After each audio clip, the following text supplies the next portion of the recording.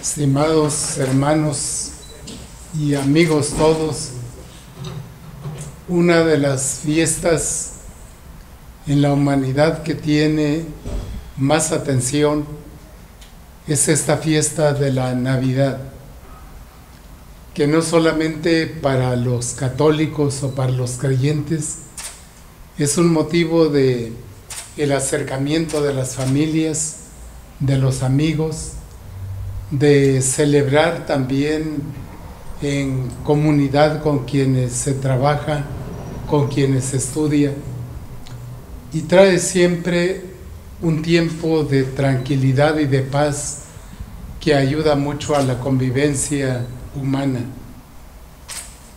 Es necesario darle el valor a esta fiesta que tenemos, porque hay muchas formas de celebrarla celebrar solamente una fiesta. Incluso a veces para la felicitación se dice solamente felices fiestas. Pero ese no es el verdadero sentido de la Navidad.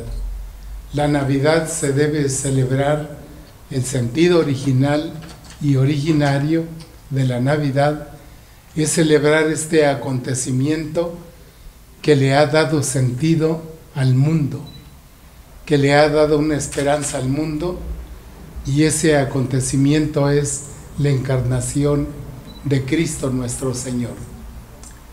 Yo los invito a que también aprovechemos este tiempo para valorar nuestra vida, para valorar el tiempo que estamos viviendo, la forma como estamos viviendo.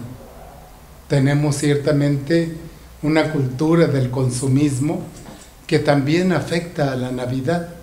A veces la Navidad es solamente comprar cosas y eso no es la Navidad.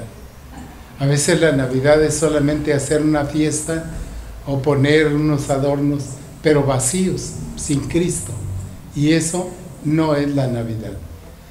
Indudablemente, con el respeto de la conciencia y de las creencias de cada de cada ser humano, pero la Navidad cristiana es celebrar el acontecimiento de Dios que nos ha dado a su Hijo Jesucristo, que ese Jesucristo es el principio y el fin de la historia, que ese Jesucristo es el que le da sentido al ser humano, que ilumina nuestro camino.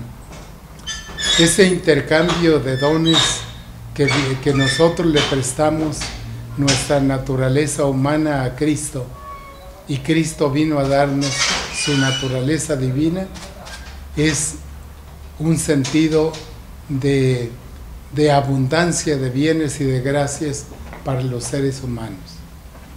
Yo los invito a que en familia aprovechemos este tiempo para convivir, para el diálogo, para que juntos decidan cómo celebrarla.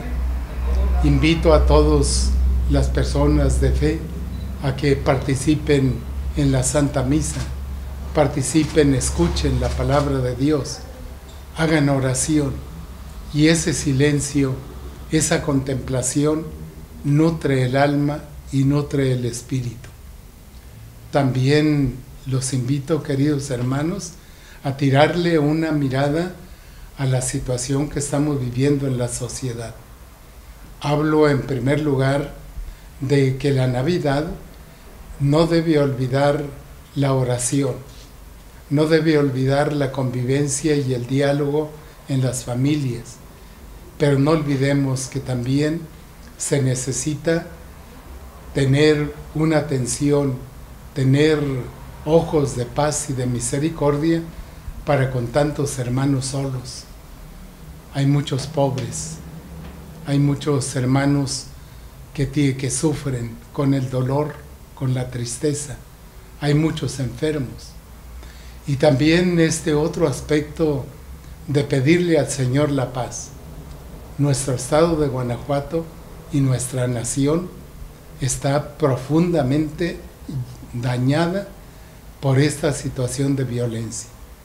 Y la violencia, la violencia es fruto, no es fruto externo. La violencia es fruto interno de nuestro corazón, de nuestra forma de pensar, de nuestra forma de, de actuar en la sociedad. Hay un desprecio por la vida y eso nos tiene en una crisis profunda del sentido del ser humano. demos una, una miradita a, este, a esta crisis profunda, una crisis profunda también de, de una cohesión de nuestra nación. No permitamos que nuestra nación se fragmente.